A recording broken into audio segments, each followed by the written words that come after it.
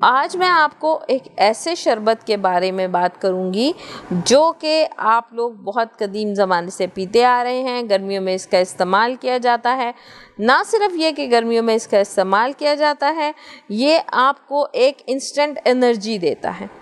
जी हाँ आज मैं बात करूँगी गुड़ शरबत या शक्कर कोला के बारे में। बिस्मिल्लाहिर्रहमानिर्रहीम। अस्सलाम वालेकुम मेरा नाम शफक बुशा है और मैं हूँ आप सबकी अपनी कंसल्टेंट न्यूट्रिशनिस्ट क्लिनिकल डाइटिशियन यानी कि माहिर गजाइयात और आप देख रहे हैं आपका अपना चैनल शफक बुशरा गर्मियों के मौसम में एक बेहतरीन ड्रिंक जो कि हर इंसान बहुत शौक से पीता है और उसके बहुत ज़्यादा फ़ायदे हैं। बहुत सारे लोग कदीम ज़माने से शक्कर का शरबत जो है, वो उसको इस्तेमाल कर रहे हैं, या जिसको हम गुड़ शरबत कहते हैं, वो इस्तेमाल कर रहे हैं।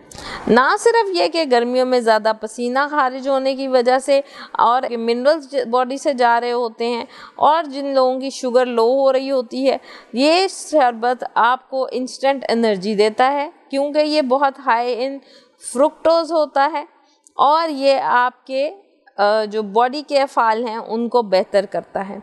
और साथ में जितने भी न्यूट्रिएंट्स की कमी है, वो इससे पूरी होनी शुरू हो जाती है। आपको डिहाइड्रेशन नहीं होती।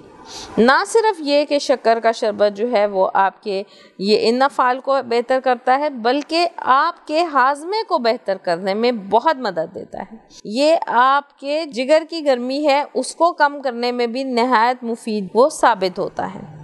इसके अलावा गुर्दों के लिए, दाफियाती निज़ाम के लिए ये नहायत ही मुफीद है। और जिन लोगों को डिहाइड्रेशन हो जाती है या डायरिया और इस तरह के प्रॉब्लम्स होते हैं, वो भी अगर इसका इस्तेमाल करें तो उनको इंस्टेंट एनर्जी मिलेगी।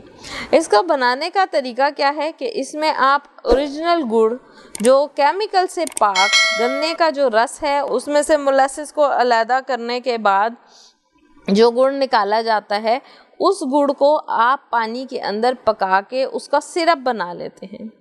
और सिरप को आप फिर और फर्दर डिल्यूट करके उसमें लीमू निचोड़ के पीते हैं। गुड़ का शरबत बनाते वक्त जिस चीज़ का ख्याल आपने रखना है तो कोशिश करें कि जो मार्केट से मिल रहा या जो रेडियो पे लगा हुआ गुड़ का शरबत है, वो आप इस्तेमाल ना करें।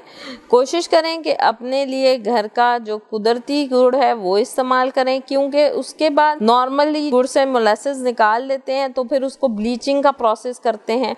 वो ब्लीचिंग के केमिकल्स की वजह से वो गुड़ जो है नुकसानदेह हो सकता है, फिर वो बहुत सारी प्रॉब्लम्स और बीमारियाँ कॉज कर सकता है। तो कोशिश करें कि आप कुदरती गुड़ का इस्तेमाल करें और घर में इसको पकाएँ।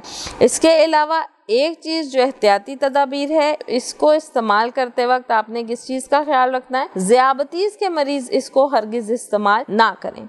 क्योंकि शक्कर हो या गुड़ हो ज़्याबतीस के मरीज़ को एकदम स्पाइक देगा और खुदा न खास्ता आपकी ब्लड ग्लूकोज लेवल इंक्रीज़ होने की वजह से ब्लड को स्पाइक मिल सकता है और बहुत सारी कॉम्प्लिकेशंस और प्रॉब्लम्स हो सकती हैं।